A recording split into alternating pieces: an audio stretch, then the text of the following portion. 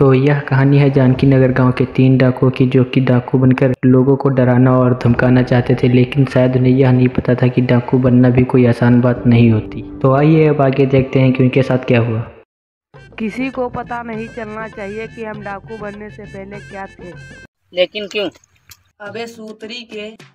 अगर किसी को पता चल गया हम डाकू बनने से पहले नालियाँ साफ़ करते थे तो हमारी क्या इज़्ज़त रह जाएगी? सरदार क्या रह जाएगी? मैं अभी तुझे बताता हूँ क्या रह जाएगी।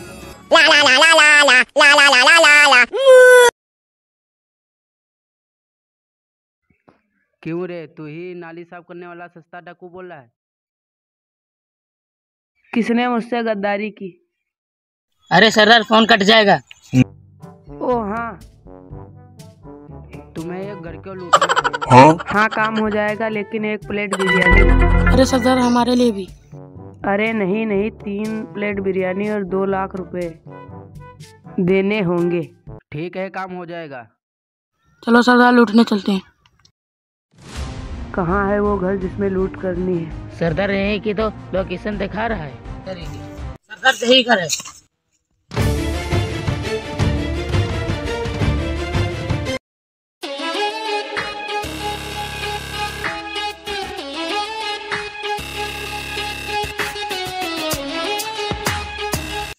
कीमती चीज़ें हैं वो मेरे हवाले कर दो।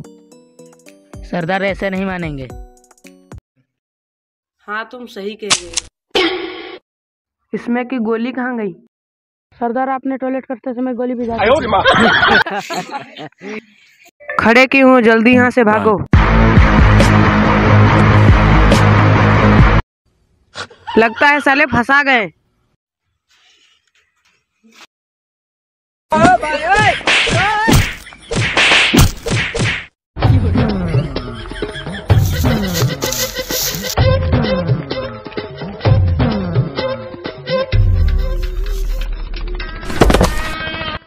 ओरी मैया। भोसड़ी के दोबारा चोरी करने मत आ जियो अपने सरदार आए नहीं। तुम्हें क्या पता अपने सरदार बहुत बहादुर हैं उन लोगों को तभी तरह धोया होगा। अरे वो सरदार आ रहे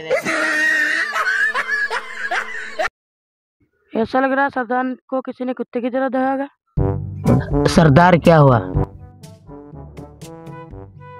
अरे हुआ का उन तीनों भोसड़ी वालों को मैंने कुत्तों की तरह मारा? आपकी शक्ल देख के लग रहा है आप ही मारे गए हो। सोचो जब मुझे इतनी लगी है तो उन्हें कितनी लगी होगी? सरदार हमें पैसे दो हमको भूख लगी है। नहीं है पैसे कहीं गिर गए। अगर पैसे नहीं तो आधार कार्ड एटीएम कार्ड दे दो। अबे भोसड़ी के कार्ड चाहिए तुझे? ला बेल्ट। हाँ छोड़ दो सरदार माफ़ कर दो। हाँ। चलो चलकर किसी को लूटते हैं।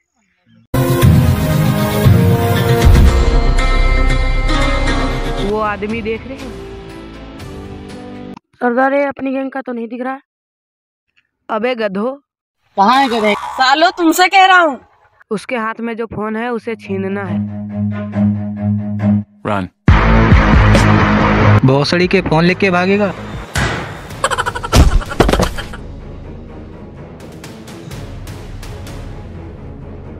लगता है सलाम मर गया।